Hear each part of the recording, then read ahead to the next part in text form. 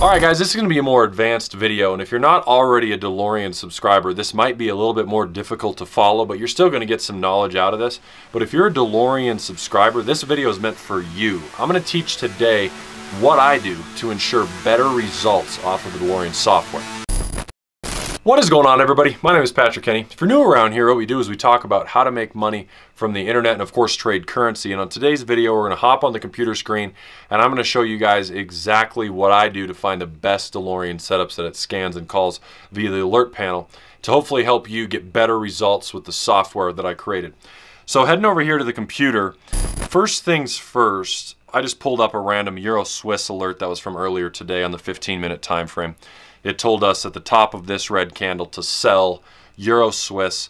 And uh, as you can see, it's since sold off and it's done fairly well. And from the naked eye, you might think, oh, wow, this did pretty well. This position looks good. But I want to explain to you what I look for in order to get the best results when it comes to trading with the DeLorean. And so what we have recently done is we've revamped the software. We call it 2.0, even though it doesn't look any different. We revamped the software to become a little bit more accurate and, and kind of lessen the noise, if you will, filter out the noise that comes in uh, from the DeLorean software. So you'll notice that when you go up here to training, obviously we have this watch this for the basic training guide. But when you use this four-step system to ask these four questions any given call, you really only need to ask yourself these two questions nowadays with the 2.0. So it's really step three and step four you're asking. So the first thing you're going to ask yourself, really on this example, this is a sell signal, is the gray, aqua, or blue line closely above the two candles? And so if we go back to the DeLorean and we notice, okay, here's the two candles right here at this price. And the question is, is the gray, aqua, blue line closely above? Well, at the time, the closest one above was approximately right there. And this in this example, that's about a 14 pip difference. And what we determine as closely above is 10 pips or less. And so if you ever get a DeLorean alert and you don't have one of those gray aqua blue lines within 10 pips or less above on the sell side or below on the buy side, we don't take it. And the reason being is I refer to these lines as magnets.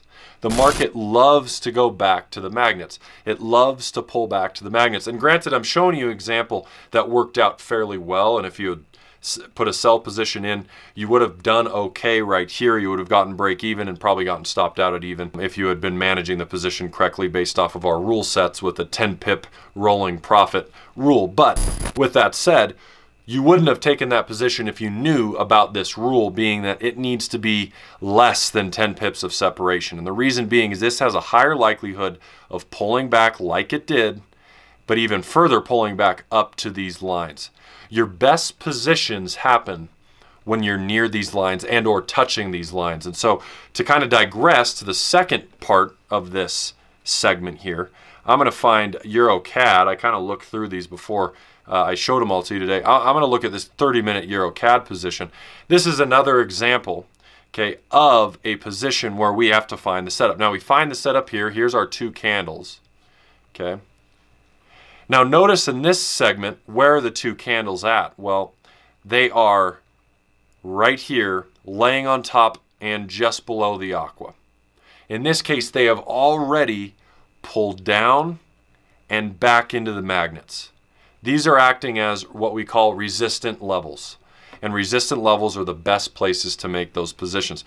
So this was the ideal position that you would have taken on the DeLorean where it said to sell it here and then rolled out.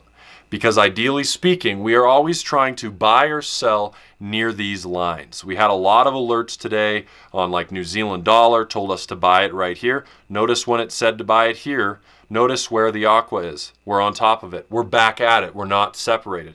Uh, New Zealand yen, DeLorean again told us to buy it here. Right there, we're on the aqua. And we're also right there on the gray. Again, the reason that we're doing this is so that we are not incurring unneeded pullbacks that could lead to a losing trade. And again, I know that this is probably an advanced sort of situation for a lot of you guys, and if you don't have the DeLorean, I don't expect you to understand any of this. But when the DeLorean calls a trade alert, it is just calling based off of parameters. It doesn't know where these lines are at. It doesn't know where the blue sits, the aqua sits, the gray sits. That's what your job is, is to look at that because that's going to base things like your actual entry, if you're going to enter or not. That's going to base things like your take profit levels and so on and so forth. And so your goal is to look and say, am I on those levels? Am I on these key levels, the aqua, the gray, the blue, whatever the case may be, so that I can actually get into that position. And so again, if you guys want DeLorean videos like these, click the like button, rack that like button up, smash it. If you don't have a YouTube account, sign up, hit subscribe, get the alerts, smash the like button, tag that thing up 100 plus likes or whatever you guys got to do. Let me know that you want DeLorean videos and I'll make you guys more advanced videos over and over and over to help you guys with this software because at the end of the day, yes, the live rooms are great. Yes, Shadow's great, but this software has the ability to show you how to trade and trade independently for you yourself. And my goal is so that you, I can teach you to see this market how I see it, so that when you get the alerts, you don't have to ask anybody. You know exactly if you're going to or not going to enter the trade. So hopefully this helps. If you have any questions, feel free to comment down below what those questions are, and I will see you guys on the next video.